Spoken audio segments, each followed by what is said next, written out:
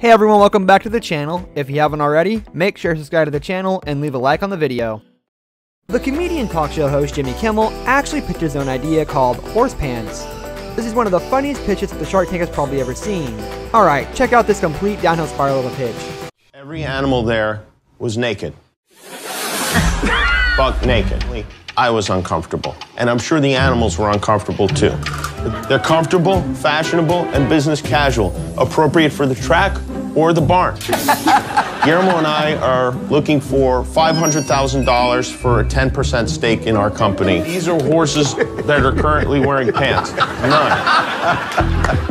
These are horses that could be wearing pants, all of them. And pants. Here's my concern. You have zero market share. How are you going to grow this business? Do you have a plan? No, I think maybe we should start to. We're going to pass on that question. Jimmy, I think you ought to take this one out behind the barn and shoot it. I'm out. Whoa. The Sullivan generator is a conceptual machine by the inventor Mark Sullivan. When he went to Shark Tank, he asked for a $1 million for a 10% equity in his idea, but failed to make the impression that he was hoping for. He claimed that his generator, if built machine, would use a steam vortex powered by the rotation of the Earth and use this controlled hurricane to turn the turbines that will produce electricity. What about the other 999 inventions? Did you ever make any money with those? My inventions are making over a billion dollars per year. I want to know what you sew. Leather, and I sew ladies' skirts, and vests, and handbags. Already, an idea like this is starting to sound like a lot of BS. However, it just gets even worse.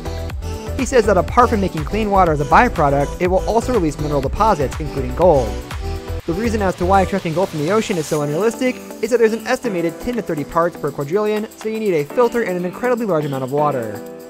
In addition to this, the ocean is full of many other minerals that are in higher concentration because let's say, if this theoretical machine actually works, all of the salt that would be collected would be worth way more than the gold. We have the very first pitch ever made at the Shark Tank. This is probably one of the creepiest pitches that were ever made. During this time, Bluetooth earpieces were an emerging market, so it was a good idea to make business off of them.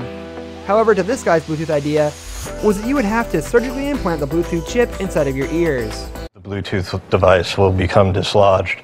I'm sorry. Where are you implanting this into a into another device? What are you implanting this No, into? No, it's actually going into your ear.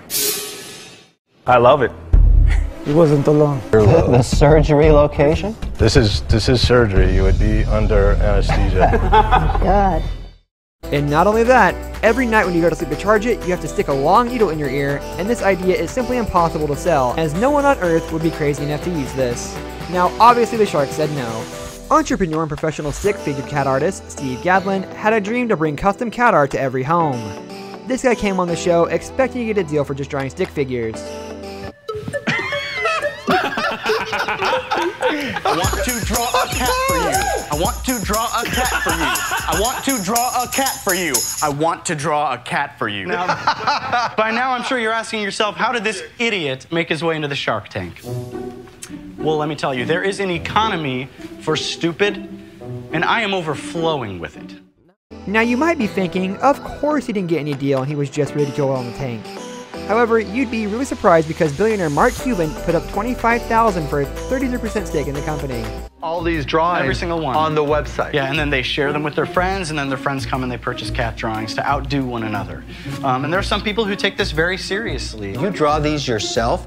I draw these myself. So that's all for today's video guys, thank you for watching, and I hope to see you next time.